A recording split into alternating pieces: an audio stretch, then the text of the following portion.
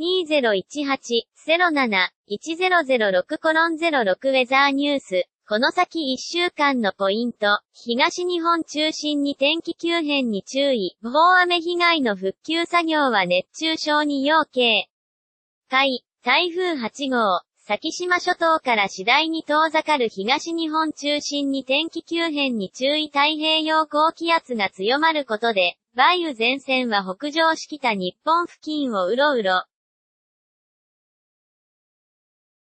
そのため、北海道や東北北部では曇り、記事全文を読む。